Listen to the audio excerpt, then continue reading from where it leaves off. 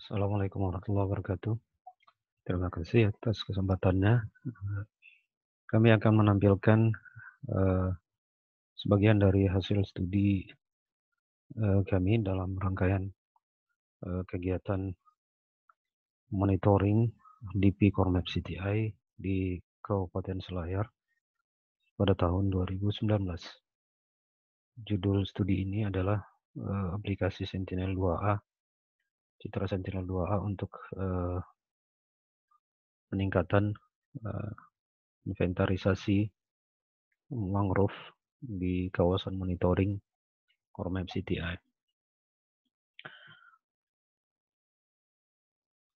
Studi ini uh, melibatkan dua institusi yaitu uh, Fakultas Ilmu Kelautan Perikanan dengan tim uh, Muhammad Banda Selamat, Supriyadi, Khairul Amri dan Prof. Rohani Amborape. Kemudian dari uh, institusi uh, DP itu ada Pak Susetiono. Hal yang mendasari adalah bahwa sebagian besar uh, atau banyak lokasi mangrove yang ada di Kabupaten Selayar itu berada di daerah yang cukup terpencil di mana transportasi dan akomodasi sangat terbatas. Sehingga penggunaan citra satelit menjadi satu hal yang sangat uh, diandalkan untuk memantau kondisi mangrove di kawasan-kawasan tersebut. Selain itu juga bahwa pada dokumen terdahulu pada saat penyusunan atau persiapan awal uh, Cornet CTI ada beberapa isi dokumen yang perlu direvisi terkait dengan uh, uh, lokasi-lokasi mangrove dan luasan mangrove. Dan juga yang ketiga, bahwa hasil studi ini bisa menjadi baseline untuk kegiatan monitoring mangrove uh, di tahun-tahun berikutnya.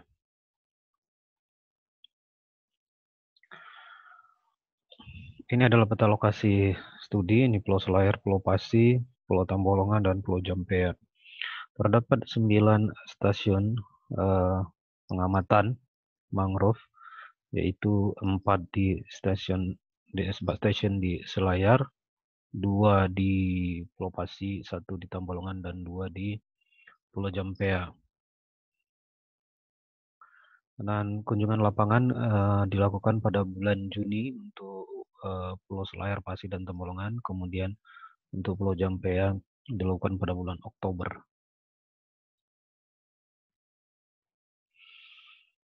Untuk setiap stasiun uh, terdapat tiga plot dan setiap plot berukuran 10 kali 10 meter dengan penentuan posisi uh, dilakukan dengan menggunakan GPS dan juga dengan bantuan kompas serta uh, pengukur jarak laser.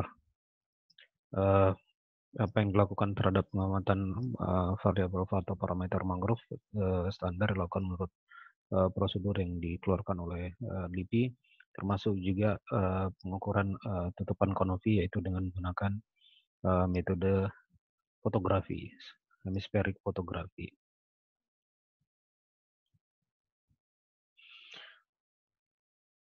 Pengumpulan citra Sentinel-2 dan pengolahannya uh, data dikumpulkan dari di-download gratis dari situs ISGS dan dari uh, banyak yang di-browse yang memenuhi syarat untuk diolah. Itu dengan citra dengan tutupan awan kurang dari 10% dan cukup bersih. Itu ada sebanyak tujuh. Ada beberapa tambahan untuk Pulau Jampea karena eh, sering kali ada sebagian pulau yang tertutup awan. Nilai nilai pixel, eh, nilai digital eh, raw kemudian dikonversi menjadi nilai reflectance eh, menggunakan metode eh, DOS yang dikeluarkan oleh Chavez. Kemudian kita uh, memilih uh, tiga band terbaik untuk di composite RGB berdasarkan uh, optimum uh, index factor. Dari citra komposit yang terpilih itu, kemudian kita lakukan uh, proses klasifikasi terbimbing dengan terlebih dahulu membuat training-training area, ya, dan yang diutamakan adalah training area untuk uh, mangrove. Kemudian kita cek di spectral signature-nya, dan setelah itu uh, kita lakukan proses klasifikasi dengan menggunakan uh, maksimum likelihood dan hasil klasifikasi kita overlay lagi ke eh, data ke citra RGB kemudian pada daerah-daerah yang uh, tidak sesuai kita lakukan digitasi manual. Setelah sempurna, maka uh, kita kemudian melakukan konversi uh, mangrove ya, kelas mangrove saja menjadi uh, vektor.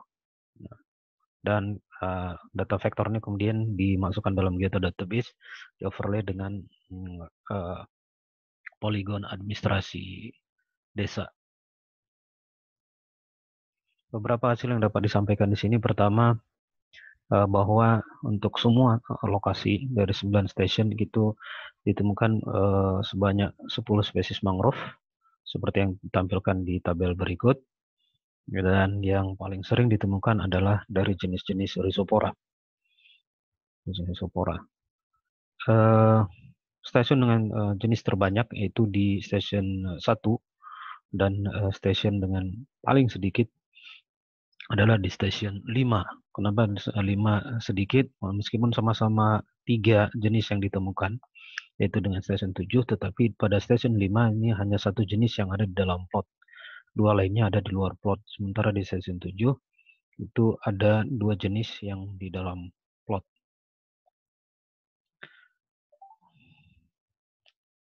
Ya, secara rata-rata dapat dikatakan bahwa untuk uh, 9 stasiun kita dapat menemukan tiga atau empat jenis uh, mangrove di dalamnya. Dari tutupan kanopi, uh, tutupan kanopi yang terendah itu ditemukan di uh, stasiun 4, ya. Stasiun 4 itu di ujung bandara Aeropala itu sekitar 35% tutupan kanopinya. Sementara tutupan kanopi tertinggi itu ditemukan di di stasiun 6 yaitu di Pulau Pasi di Bontolebang. Nah, ini memang uh, wajar karena daerah ini merupakan uh, daerah kawasan konservasi sebelumnya. Kawasan konservasi dari kabupaten ya. Uh, secara umum kita dapat katakan bahwa mangrove di Selayar berdasarkan 9 uh, stasiun yang yang dipantau itu uh, kondisi mangrove-nya masih uh, good condition karena rata-rata uh, tutupan kanopinya lebih dari lebih besar dari 75%. Dari sisi citra, uh, nilai OIF yang terbaik atau optimum faktor sebenarnya adalah komposit dari band 8A, 11 dan 3. Ya. 11 dan 3. 8A, 11 dan 3. Akan tetapi karena pertimbangan resolusi spasialnya bahwa uh, band 8 uh, itu 10 meter, 98A 20, uh, 20 uh, maka kita menggunakan yang kom, komposit atau kombinasi dari band 8, 11, dan 4. Meskipun secara ranking dia merupakan uh, ranking keempat ya, dari nilai terbaik uh, 0,246. Dari situ kita juga dapat uh, memperoleh uh, reflektans, kurva reflektans untuk beberapa jenis mangrove yang 10 jenis mangrove itu dan kita dapati bahwa umumnya umumnya bentuk bentuk uh, kurva reflektans mangrove itu adalah demikian itu ada dua puncak ya. yang paling tinggi itu puncaknya ada di 865 di 865 ya nah, meskipun di sini kelihatan bahwa uh, reflektans yang paling tinggi dari semua jenis yang ada di dalam dalam station itu adalah uh, Rhizopora Rhizopora ya, Acromonata. Rhizopora apiculata. Maaf. Rhizopora apiculata. Sementara yang paling rendah itu adalah Rhizopora stylosa. Ya, mungkin ini ada kaitannya dengan uh, banyak hal ya, terutama juga uh, mungkin uh, ya karena kita tidak melakukan secara detail pengukuran konopi per jenis ya, per spesies jadi mungkin selain daun juga ya pohonnya sendiri ada yang udah tua, ada yang masih muda yang gitu. Ada kerapatannya juga itu mungkin perlu diperhitungkan. Di sini kita belum perhitungkan. Dari hal-hal itu kita dapat menguploadkan bahwa untuk daerah Selayar ini di estimasi terdapat uh, mangrove di sekitar di sekitar 23 atau 24 desa uh, di 9 pulau dengan total luas sekitar 695 hektar dan pulau dengan uh, luas mangrove terbesar berada di Jampea dan tersebar di 11 desa. Sementara uh, desa dengan kawasan mangrove terluas itu terdapat di Tambolongan, itu sekitar 105 hektar. Sehingga uh, sini kita sampai pada kesimpulan bahwa uh, dari uh, pemantauan dengan menggunakan satelit atau pengolahan citra satelit, kita uh, membuktikan bahwa uh, atau mengestimasi bahwa uh, luas uh, mangrove di Selayar itu sekitar 695 hektar dan uh, Jampea merupakan pulau dengan uh, luas mangrove terbesar dengan jenis yang paling sering ditemukan adalah Rhizopora. Di sini kita dapat tampilkan uh, database ya, geodatabase dari uh, layer mangrove yang sudah kita turunkan dari Citra Sentinel tersebut. Jadi ini adalah uh, kos Indonesia ya. Kemudian kita bisa lihat uh, untuk daerah Selayar. Hmm, ya. ya, ini daerah Selayar. Kita bisa langsung zoom ke kawasan mangrove-nya zoom to group ya.